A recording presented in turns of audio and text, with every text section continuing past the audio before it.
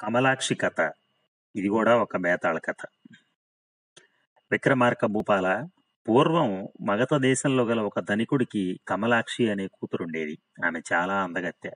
ఆమె అందచందాలు విని కృపాకరుడు అనే యువకుడు వచ్చి ఆ ధనికుడిని చూసి అయ్యా నేను మీ సంపదలకు సరిపడే ధనవంతుడినే సాటి కులస్తుణ్ణి కూడా. మీ అమ్మాయిని గురించి విన్నాను. స్వయంగా వచ్చి చూస్తున్నాను. ఆమెపై నా మనసు పోయింది. ఆమె లేకపోయినా నేను బ్రతకజాలను. ఆమెను దయతో నాకిచ్చి పెళ్ళి గావించండి. లేనిచో మీ ఎదుటే ఇక్కడే మరణిస్తాను అని వేడుకొన్నాడు. ఆ ధనికుని పేరు విశాల హృదయుడు. ఇతడు ఆలోచించి కృపాకర తొందరపడకు. నేను అమ్మాయితో ఆలోచించి రెండు రోజుల్లో నీ కోరిక తీరుస్తాను అని వాగ్దానం చేశాడు.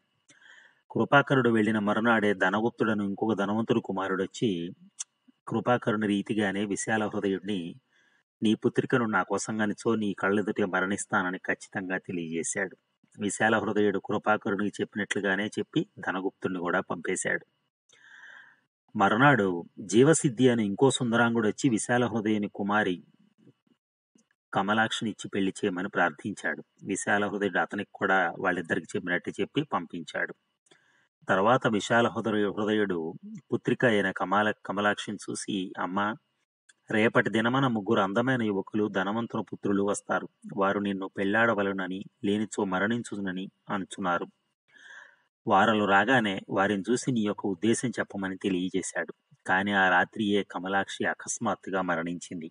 ఆమెకై మరునాడు వచ్చిన ముగ్గురు ధనవంతుల పుత్రులు ఆమె శవమును గాంచి మిక్కిలి దుఃఖించారు. తర్వాత కృపాకరుడు కమలాక్షికి అగ్నికి సంస్కారం చేశాడు.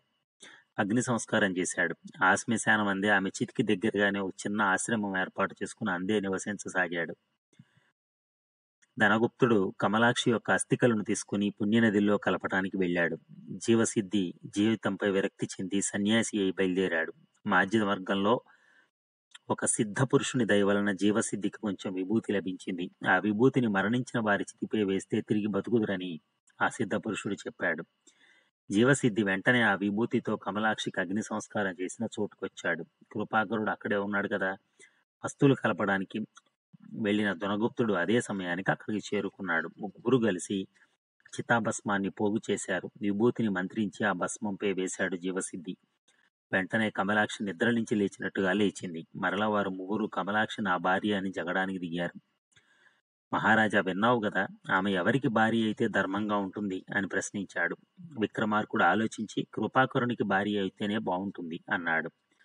అవును కమలాక్షి కూడా అలాగే ఆలోచించింది. బతికించిన జీవసిద్ధిని తండ్రిగా భావించింది. ఆస్- అస్తులు పుణ్యనదులలో కలిసి వ- కలిపి వచ్చిన ధనగుప్తుడిని పుత్రునిగా అంగీకరించింది. తన కొరకు అహోరాత్రులు ఆ శ్మశానం అందే కాపురం ఉన్న కృపాకరుణ్ణి భర్తగా స్వీకరించింది అన్నాడు బేతాళుడు ఈ విధంగా విక్రమార్కుడికి మౌనభంగం కలగటం వల్ల బేతాళుడు ఎగిరిపోయాడు.